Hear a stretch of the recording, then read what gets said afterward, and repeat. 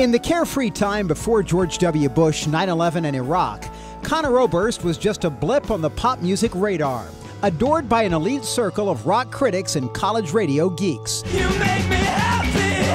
Oh, and skies are gray. The world was a radically different place back then, and so was the music of Bright Eyes. It was a different time, you know. I mean, I can remember certain things and, you know, feelings but I don't think I can get back there. Bright Eyes songs were bleak and beautiful, introspective tales of tortured adolescence.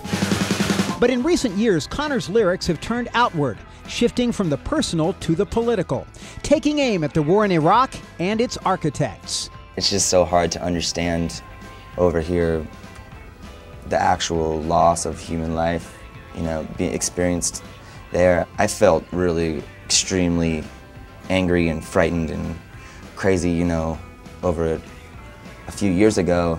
And I think that's when I was writing the most overt songs. Well, I should stop pointing fingers, reserve my judgment of all those public action figures, the cowboy presidents, so loud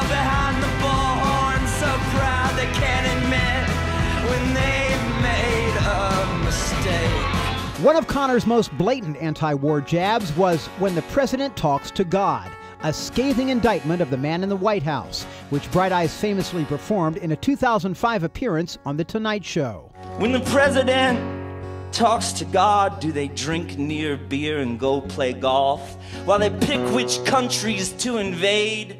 Which Muslim souls still can be saved. I guess God just calls a spade a spade when the president talks to God. The clip made it to YouTube, where it became a viral video rallying cry for those disillusioned with Bush. There's never been a protest movement that's really gotten any traction with this war in any way near what it was you know, 40 years ago with Vietnam.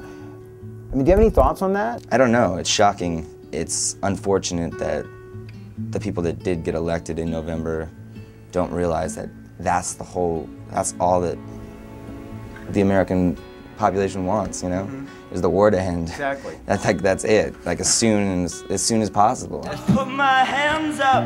I say enough is enough. If you walk away, I'll walk away. And he shot me dead. I reached a point of just kind of overload where I just didn't want to think about it anymore. You is know? it also? So I guess it's sort of chicken shit. Well, but it's you got to be true to yourself and yeah. what you're feeling. And what Conor has been feeling lately is a search for harmony within his own life and with the often scary world at large. It's that quest, along with a sense of spiritual cleansing, that informs Bright Eye's latest, Cassadaga. I guess the essence of the album is just sort of trying to um, make peace with everything and be uh, comfortable in your own skin and live in the moment as much as possible and trying not to uh, obsess over the past or the future too much. Which is not to say that Conor's afraid of social commentary or provocative lyrics.